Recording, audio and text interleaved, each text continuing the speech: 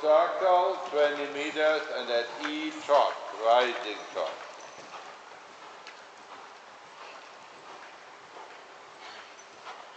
Good.